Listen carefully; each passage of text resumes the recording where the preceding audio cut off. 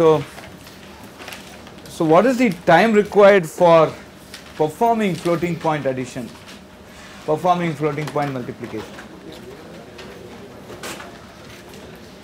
Can you just tell me what would be the time required for, suppose I have something like 1 point m into 2 power k and 1 point n into 2 power r. Represented in IEEE 754 format. What it means to add and what it means to multiply this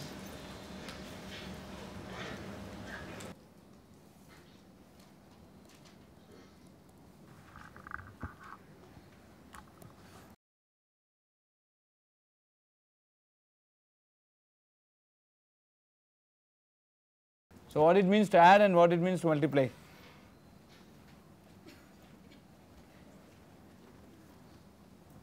So how do you add two two numbers in this format? So how, uh, forget IEEE 754. How do you add these two? Huh? make them as the same exponent. How do you make them as the same exponent? Make the lower one match the higher. Huh? Make the one with less uh, two power thing match the one with higher ones. We have to convert it. Okay. So how do you do that? Yeah, that's that's what is said by matching. Uh, So how do you do that? This is K and this is R. Yeah. Okay, so basically we'll find out K minus R uh, or R minus K whichever maximum. And then so whichever is less we go and shift it by what? Right or left okay? So whichever is less we can go and shift it by uh, right or whichever is more we can shift it by left right? So by then we can match these exponents. So what is the cost of shifting? Why do you shift so if I shift it gets multiplied by 2 power k. If I uh, if I shift k times then I uh, it gets multiplied by 2 power k. Okay? If I uh, this is shift left. If I shift right k times it becomes 2 power minus k. So so we can do one of these operations. So shifting is a constant operation. So I I go and subtract this or add this. Meaning addition is subtraction. So essentially uh, after that I do a shifting. So there is an addition involved plus there is a shifting involved. Okay? So so that is again constant time. After that what do you do? After add addition or shifting what do you do? Just add. oh so so so this this gets into some value. So you add uh, add the mantissa part. So there is an add a shift then another add. Then followed by a normalization.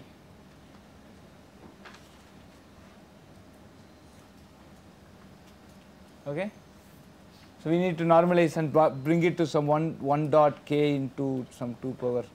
Oh, mm, klm 1 dot l into 2 power. Whatever max of kr or min of kr so we have to do that so note that a floating point addition also involves only addition addi- integer addition right so these two adds are integer adds right, because I can treat them as integer and do the addition. Okay. So how do you multiply? Same. We'll multiply separately. How do you- Oh. The this part separately and then uh, add those both. Add the. Add Add exponent. K plus I. Add the exponent and uh, multiply the addition. multiply M into N. multiply multiply mantissa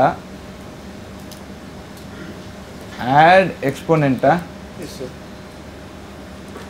Then add whatever uh, from Mantissa we'll have a we'll have to shift and normalize.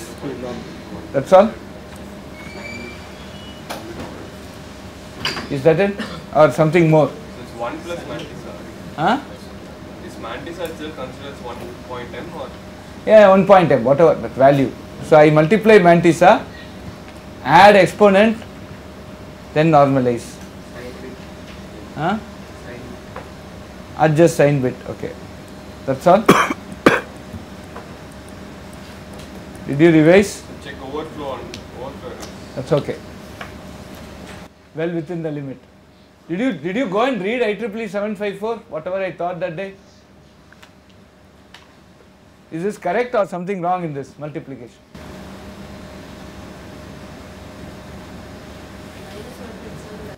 Ah, okay. So if I keep adding, this is already excess 127 format. So this will become excess 254 format, right? So I have to subtract, after adding exponent, I have to subtract 127. Because this is excess 127 format, this is also excess 127 format. If I add K plus R, it becomes excess 254 format. So I, sh I should go and subtract. So I should add K plus R after it is stored in IEEE 754 format and then subtract 127 from that. So that's very important, crucial. Right? Okay. So again, please note that um, the multiplication also, so this is integer multiplication, this is integer addition and then normalization. So your floating point arithmetic, at least addition and multiplication is as complex as integer addition or as simple as integer addition and integer multiplication. It's, it's just composing of a constant number of integer additions and or inte integer multiplication steps. So that's why if, if you look at the algebraic model of computation which you use for uh, normal algorithmic analysis, you find that uh, floating point addition and multiplication are also treated equivalent to integer addition and integer multiplication because they also take the same amount of time, some constant multiple of that. So order wise it's same. So addition can also, addition of floating point number also can be done in order log n time, multiplication also in order log n time and so is uh, integer addition and integer multiplication. Okay. So this is something that we need to keep in mind. So when we are trying to analyze an algorithm, uh, there is a theoretical analysis, there is a practical analysis. So when we do the practical analysis or even when we perform a theoretical analysis of an algorithm which you are supposed to implement and show good speed up. Now these are the things that these are small bits that we will we'll talk about lot of things as you proceed in this BTech curriculum. But these are some fundamental things that you should keep in mind about the practical practical uh, validations of some of the models of computation that you assume while you are doing the analysis. Okay. So, so now let me give you a very small question so that we can. Okay, I, want you to design a circuit uh, which takes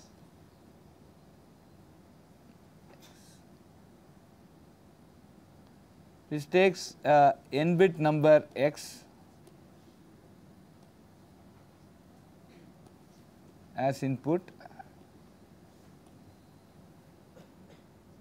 and another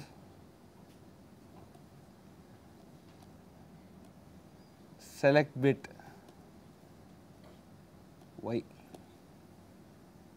right if y equal to 0 I need the output to be 2x.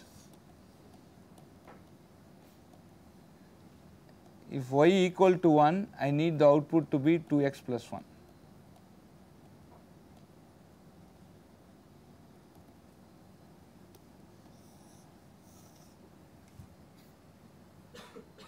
I will give you just 3 minutes and you design a circuit which takes a n bit number x as input and another select bit y. If y equal to 0 I need output 2x, if y equal to 1 I need 2x plus 1.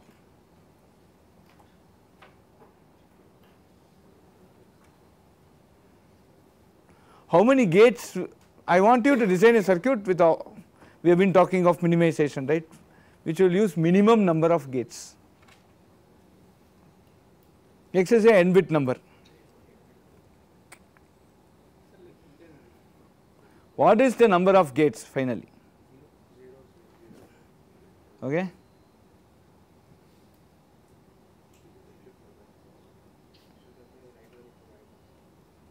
Right.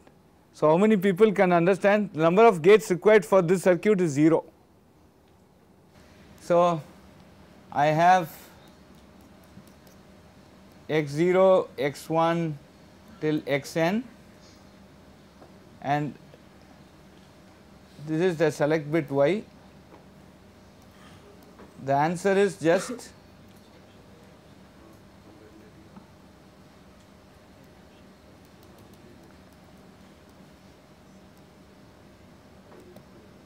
this is the n plus 1. So, when y is 0 you get 2x it is just left shifted. So, you just shift it by 1 bits that is all right. So, there are many many interesting questions like this which will require 0 gates okay. So, we will uh, we will discuss as we proceed uh, in this course. Okay, this is one very simple example which uh, many many uh, placement companies ask in their interview. Okay, so fine. Okay, thanks.